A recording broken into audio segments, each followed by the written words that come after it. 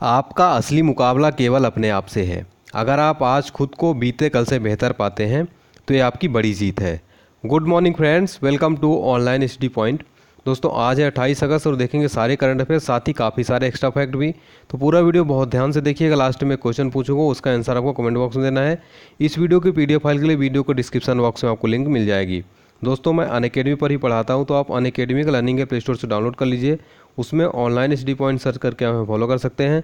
मैं अपने Unacademy profile की लिंक इस वीडियो को डिस्क्रिप्शन बॉक्स में भी दे दिया हूँ तो उस लिंक पे भी क्लिक करके आप फॉलो कर सकते हैं और वहाँ पे बनाए गए वीडियोस बिल्कुल फ्री में देख सकते हैं। यदि आप चैनल पर पहली बार विज़िट करें चैनल के नीचे रेड कलर में सब्सक्राइब बटन हो उसमें क्लिक कर दें, साथ में जो वाले बेल आइकन उसको ज़रूर प्रेस कर दें, ताकि आपको डेली मॉर्निंग में इसी टाइम पर करंट अफेयर्स वीडियोज़ मिलती रहे। वीडियो यदि पसंद आए, अच्छी लगे तो प्लीज़ लाइक और शेयर ज़रूर करिएगा। चलिए स्टार्ट करें दोस्तों, पहला क्वेश्चन बहुत इंपॉर्टेंट है। भारत की पहली जैव ईंधन संचालित फ़्लाइट किस शहर में उतरी है?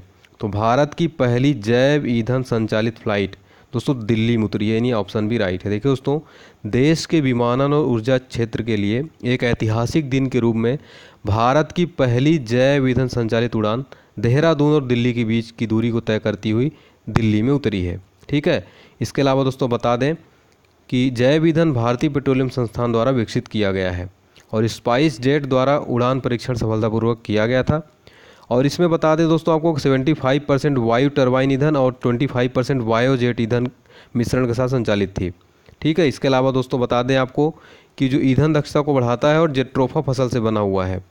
सी एस आई आर, यानी Indian Institute of Petroleum I P I I P द्वारा देहरादून द्वारा विकसित किया गया है। ठीक है, इसके अलावा आपको बता दें कि जो वर्तमान में भारत के उड्डयन मंत्रालय में राज्य मंत्री हैं वो हैं जयंत सिन्हा। नागरिक उड्डयन मंत्री कौन है? स्वतंत्र प्रभार राज्य मंत्री हैं जयंत सिन्हा हैं। ये फैक्ट आपको याद रखना है। बात करें दिल्ली की तो दिल्ली की भारत की राजधानी और केंद्र शासित प्रदेश है। वर्तमान मुख्यमंत्री आप सबको पता है अरविंद केजरीवाल, और यहाँ पे एक फैक्ट याद रखिएगा। वर्तमान जो राज, उपराज्यपाल है दिल्ली के, वो हैं अनिल बैजल। तो ये इंपॉर्टेंट फैक्ट है, ठीक है? और वहीं बात करें देहरादून की, देहरादून उत्तराखंड की राजधानी है। और अभी हाल ही में दोस्तों उत्तराखंड में जो नए राज्यपाल बने, गवर्नर बने हैं, वो है बेबी रानी मौर्य की नियुक्ति हुई है। तो यह आप फैक्ट बिल्कुल याद रखिएगा, मोस्ट इंपॉर्टेंट है। वर्तमान सीएम है त्रिवेंद्र सिंह रावत। और आपको बता दें कि उत्तराखंड का पूर्व नाम था उत्तरांचल, और यहाँ पे जो दो बाँध बने हुए हैं, भागीरथी बाँध और टिहरी बाँध। ये क्वेश्चन पूछा था कि भागीरथी बाँध भारत किस राज्य में स्थित तो ये स्थित है उत्तराखंड में और टिहरी बाँध भी। और उत्तराखंड से रिलेटेड जब भी उत्तराखंड की बात होती है तो एक फैक्ट बहुत इंपॉर्टेंट है। चिपको आंदोलन का जनक, जो चिपको आंदोलन की शुरुआत हुई उत्तराखंड में पर्यावरण का रक्षा आंदोलन है, जो कि वृक्षों कटाई के लिए, विरोध के लिए किया गया था, वृक्षों कटाई के विरोध के लिए। इसके जो जनक थे दोस्तों, पर्यावरण में चिपको आंदोलन के वो थे सुंदरलाल बहुगुड़ा क्वेश्चन पूछा था, चिपको आंदोलन के जनक कौन है? सुंदरलाल बहुगुड़ा ने इसका नेतृत्व किया था। चामोली ज़िले में 1973 में आंदोलन प्रारंभ हुआ था। तो ये आप फैक्ट उत्तराखंड के बारे में इतने याद रखिए, एग्ज़ाम में बहुत बार पूछा जाता है। जयपुर, आपको सबको पता है कि भारत की पिंक सिटीज़ को कहा जाता है जयपुर को। गुलाबी नगर और राजस्थान की राजधानी है। वर्तमान सीएम है राजस्थान की वसुंधरा राजे। गवर्नर की बात करें तो वह कल्याण सिंह। और आपको बता दें कि राजस्थान भारत का क्षेत्रफल दृष्टि सबसे बड़ा राज्य है। एरिया वाइज सबसे बड़ा राज्य कौन सा? राजस्थान है। ठीक है? वहीं बात करें लखनऊ की तो लखनऊ जो है तो यूपी की राजधानी कैपिटल है। और बता दें कि जनसंख्या के आधार पर भारत का सबसे बड़ा राज्य है यूपी। और आपको बता दें कि प्रशासनिक व विधायी राजधानी है लखनऊ, जबकि न्यायिक राजधानी इलाहाबाद। और यूपी की जब भी बात आती है तो यूपी से रिलेटेड एक क्वेश्चन पूछा जाता है कि ताजमहल जो तो आगरा में स्थित है, सबको पता है, लेकिन एक क्वेश्चन बहुत इंपॉर्टेंट है कि इसके वास्तुकार कौन थे? ताजमहल के दो थे ताद अहमद लाहौरी। ये आप याद रखिएगा। ठीक है? और आपको बता दें कि भारत की प्रथम महिला सीएम सुचिता करपलानी यूपी की थी। ठीक है? यूपी से थी। भारत की प्रथम महिला सीएम सुचेता करपलानी तो भारत की पहली जैव ईंधन संचालित फ़्लाइट किस शहर में उतरी है? ये उतरी है दोस्तों दिल्ली में। आपको कुछ और फैक्ट बता देता हूँ, जो एग्ज़ाम में पूछे जाते हैं। भारत की जो प्रथम परमाणु रिएक्टर था, वो था अप्सरा, ठीक है? भारत का प्रथम परमाणु रिएक्टर अप्सरा था और अगला है, भारत का प्रथम परमाणु पनडुब्बी था आईएनएस चक्र, ठीक है? और भारत का प्रथम विमान वाहक पोत था, वो था आईएनएस विक्रांत। भारत का प्रथम विमान वाहक पोत था आईएनएस विक्रांत, ये आप याद रखिएगा, बहुत इंपॉर्टेंट है। और भारत का प्रथम जो आणविक केंद्र था, वो था तारापुर, ठीक है? तारापुर प्रथम आणविक केंद्र था, ठीक है दोस्तों? इसके अलावा एक फैक्ट आपको और बता देता हूँ, प्रथम सौर सरोवर जो था इंडिया का था दोस्तों भुज गुजरात में, ठीक है? प्रथम सौर सरोवर भुज गुजरात में। तो भारत की पहली जैव ईंधन संचालित फ़्लाइट किस शहर में उतरी है? इसका राइट आंसर है ऑप्शन बी दिल्ली में। इसी तरह मैं हर क्वेश्चन में एक्स्ट्रा फैक्ट शेयर करता हूँ वीडियो क्लास से ज़रूर देखिएगा। साथ ही पाँच बजे आप डेली मॉर्निंग में करंट अफेयर्स की वीडियो ज़रूर देखा कर। इसी तरह मैं आपका करंट अफेयर्स के साथ साथ जीके का जो पोर्सन जीके का जो सेक्शन है, वो आपको कंप्लीट करा दूँगा, ठीक है? और वीडियो अच्छी लगे दोस्तों प्लीज़ लाइक ज़रूर करिएगा। आज टारगेट रखते हैं बारह लाइक्स का। आप लोगों ने कल टारगेट पूरा किए थे, लेकिन काफ़ी देर लगा दी थी। तो प्लीज़ टारगेट ज़रूर करिएगा दोस्तों, हौसला बढ़ाने के लिए, और प्लीज़ शेयर ज़रूर करिएगा इस वीडियो को। चलिए, अगला क्वेश्चन है। नेक्स्ट क्वेश्चन है, अटल जी ने कहा पुस्तक लेखक कौन है? तो ये बहुत इंपॉर्टेंट क्वेश्चन है। अटल जी ने कहा पुस्तक लेखक हैं। ब्रिजेंद्र रही, यानी ऑप्शन ए राइट है। देखो दोस्तों, अटल जी ने कहा, बीजेपी, कुलपति और पूर्व प्रधानमंत्री अटल बिहारी वाजपेयी की किताबों से नवीनतम है और इसे प्रधानमंत्री नरेंद्र मोदी के संदेश के साथ लॉन्च किया गया है। आपको बता दें कि पुस्तक ब्रजेंद्र रेही द्वारा लिखित और संकलित है और ये जो ब्रजेंद्र रही हैं, दूरदर्शन, निर्माता और वरिष्ठ पत्रकार हैं। आपको बता दें तीन बीस पेज की पुस्तक लेखक द्वारा पूर्व प्रधानमंत्री के तीन साक्षात्कार के साथ चुनिंदा भाषणों और तस्वीरों का एक समृद्ध भंडार है इसमें। और इसके प्रकाशक कौन इस पुस्तक के? तो वो है दर्पण। पुस्तक दर्पण प्रकाशन द्वारा प्रकाशित की गई है, ठीक है? और यहाँ पे आपको कुछ और इम्पोर्टेंट मैं बुक्स के नाम बता देता हूँ, जो एग्ज़ाम में ज़रूर पूछे जाएँगे। बात करें यहाँ पे दोस्तों, संजय बारू की। तो इनसे, इन्होंने जो थे, एक प्रसिद्ध पुस्तक अभी लिखी थी हाल ही में accidental prime minister accidental the accidental prime minister किसकी लिखित पुस्तक है? संजय बारू की। बात करें मैरी काम की तो आप सबको पता है मैरी काम के बारे में। मैरी काम की प्रसिद्ध पुस्तक अभी हाल ही में इन्होंने लिखी अनब्रेकबल ठीक है अनब्रेकबल किसकी पुस्तक है? मेरी काम की। बात करें के गिरी प्रकाश की तो के गिरी प्रकाश ने भी हाल ही में दोस्त जो है तो death death of a city ठीक है डेथ ऑफ़ अ सिटी जो तो सॉरी तो डेथ ऑफ़ सिटी लिखी है अमृता प्रीतम ने। कॉफ़ी टेबल जो लिखी है किसने? के गिरी प्रकाश ने। ठीक है, के गिरी प्रकाश ने क्या लिखी है? कॉफ़ी टेबल, जबकि अमृता प्रीतम की लिखी पुस्तक है डेथ अ सिटी ठीक है death a city Amrita Pritam. तो आप ध्यान दीजिएगा। और ट्रेन टू पाकिस्तान ये सुखवंत सिंह की प्रसिद्ध पुस्तक है। इसके अलावा दोस्तों, अभी आपको बता दें, एक और प्रसिद्ध पुस्तक है, हाल ही में जो है तो आज़ाद बचपन की ओर ये कैलाश सत्यार्थी की बहुत ही फ़ेमस पुस्तक है, कैलाश सत्यार्थी इसके लेखक हैं। ठीक है? इसके अलावा exam warriors prime minister Narendra Modi द्वारा लिखित बहुत ही फ़ेमस बुक है exam warriors speaking to to power speaking to to power P Chidambaram की पुस्तक, ठीक है? स्पीकिंग ट्रूथ टू पावर और दोस्तों, यहाँ पे बता दें the coalition years 1996 to 2012 Pranab Mukherjee द्वारा लिखित पुस्तक है, ठीक है? द गोल्डन हाउस, ये पुस्तक है सलमान रश्दी द्वारा, the golden house. What happened ये प्रसिद्ध पुस्तक लिखित है हिलेरी क्लिंटन द्वारा। तो जितनी पुस्तक आपको बता रहा हूँ, दो में काफ़ी चर्चित पुस्तक रही हैं, ठीक है? तो ये आप बिल्कुल याद रखिएगा। प्लेइंग इट माई वे ये है सचिन तेंदुलकर की प्रसिद्ध पुस्तक। प्लेइंग इट माई वे और असुटेबल असुटेबल बॉय के लेखक है विक्रम विक्रम सेठ। ठीक है? असुटेबल बॉय के लेखक राइटर है विक्रम सेठ। तो जितनी बुक्स आपको बताएँ, वो नोट कर लीजिएगा एग्ज़ाम में ज़रूर पूछी जाएगी। ठीक है? तो अटल जी ने कहा, पुस्तक के लेखक कौन है? इसका राइट आंसर है ऑप्शन है ब्रिजेंद्र राही। चलिए, अगले क्वेश्चन की तरफ़ बढ़ते हैं। अगला क्वेश्चन है, किस टीम ने इतिहास में पहली बार फीफा अंडर ट्वेंटी महिला विश्व कप खिताब जीत लिया है? तो ये भी काफ़ी इंपॉर्टेंट क्वेश्चन है दोस्तों।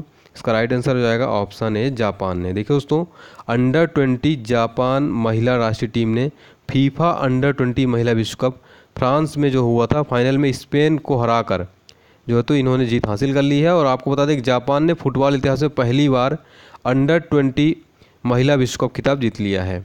ठीक है, और इसके साथ साथ आपको बता दें कि मैन ऑफ़ द मैच के रूप में नामित किया गया है तकराडा साउरी को, उनके गोल और असिस्ट के साथ। और तकराडा को एडिडास ब्रॉन्ज बूट के साथ साथ एडिडास सिल्वर बॉल भी दिया गया है। ठीक है?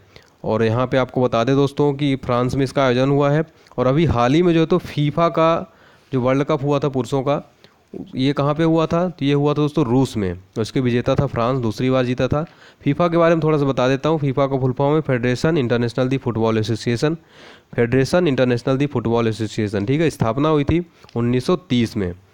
और फीफा के जो वर्तमान अध्यक्ष हैं वो है गेवियनो इन्फेंटिनो। गेवियनो इन्फेंटिनो वर्तमान अध्यक्ष हैं। फीफा की स्थापना हुई थी 1930 में। फीफा का मुख्यालय दोस्तों हेडक्वार्टर है ज्यूरिक स्विट्जरलैंड में, ठीक है? तो फीफा के बारे में आपको इफ़ेक्ट पता होना चाहिए एग्ज़ाम में पूछे जाते हैं। तो किस टीम ने इतिहास में पहली बार फीफा अंडर ट्वेंटी महिला विश्व कप खिताब जीत लिया है? तो इसका राइट आंसर है ऑप्शन है जापान ने स्पेन को हराकर, ठीक है? इसके अलावा दोस्तों, यहाँ पे जापान के बारे में आपको थोड़ा सा बता देते हैं। क्वेश्चन पूछा जा सकता है, जापान का प्राचीन नाम था निप्पन। जापान को प्राय चार बड़े द्वीपों को देश भी कहा जाता है। यहाँ पे चार बड़े द्वीप कौन से हैं? तो दोस्तों होकाइडो होन्सू सिकोको तथा कुशु चार द्वीपों पर बसा है जापान होकाइडो होन्सू सिकोको तथा कुशु और जापान को सूर्योदय को देश भी कहता है। ठीक है, किस देश को सूर्योदय देश कहा जाता है? तो ये जापान को कहा जाता है। जापान की राजधानी टोक्यो, पीएम है सिंजो आबे। और एशिया का सर्वाधिक जलयान बनाने वाला देश कौन सा है? वो है जापान। ठीक है, एशिया का सर्वाधिक जलयान बनाने वाला देश है जापान। तो ये आप याद रखिएगा। तो किस टीम ने इतिहास में पहली बार फीफा अंडर ट्वेंटी महिला वर्ल्ड कप खिताब जीत लिया है? ये जीत लिया है दोस्तों जापान ने। ठीक है, चलिए, और जापान की करेंसी है येन। ठीक है, जापान की करेंसी है येन। चलिए, अगले क्वेश्चन की तरफ़ बढ़ते हैं।